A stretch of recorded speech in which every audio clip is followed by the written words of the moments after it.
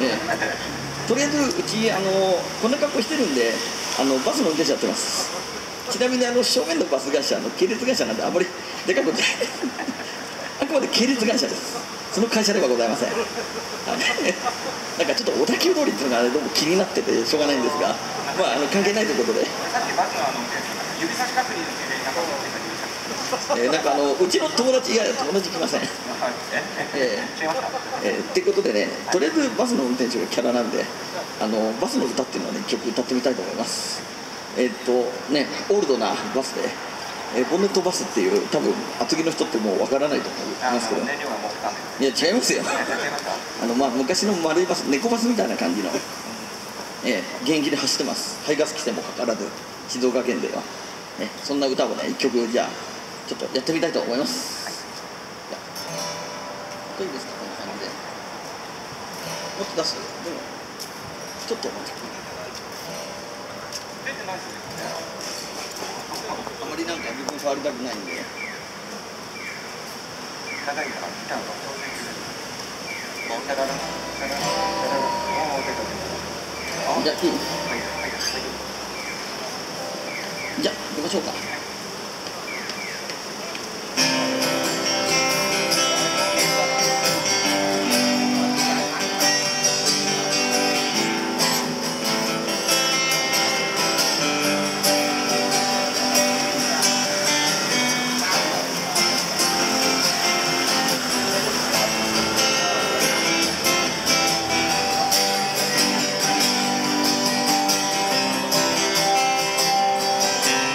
修善寺行きのバス乗り場にオレンジ色の丸いバス。親父と同じ年に生まれ今日も元気に走ってる。このバスはその昔天城峠を越えたけど今は取材の時だけ注目を浴びていた。僕を乗せてバスは行く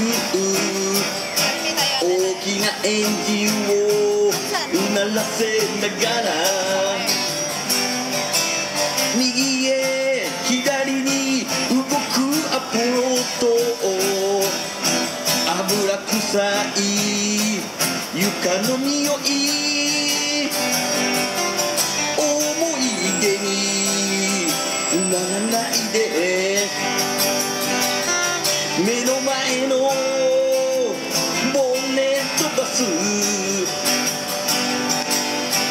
今日も天虹を走れ。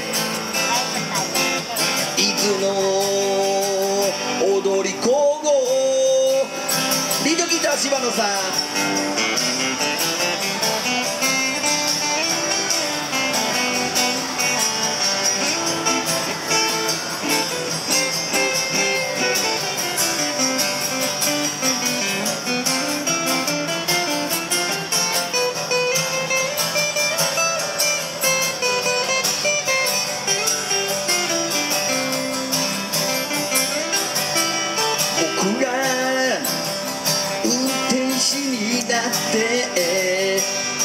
車庫にある丸いバス今も現役のままで今日も元気に走ってるこのバスはその昔車掌を乗せて走ったけど今は踊り子ガイドを乗せて注目を浴びていた。僕を乗せてバスは行く。重いハンドル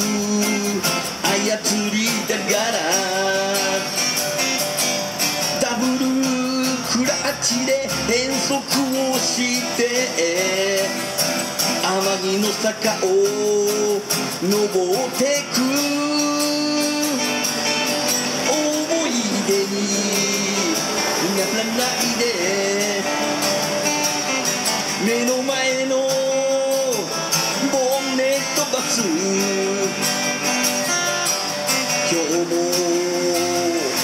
天城を走れ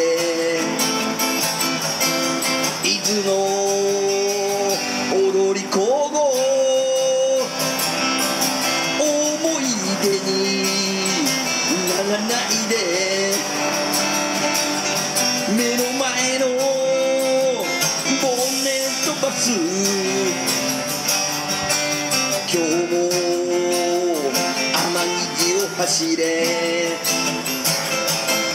伊豆の踊り子を。柴野さんお願いします。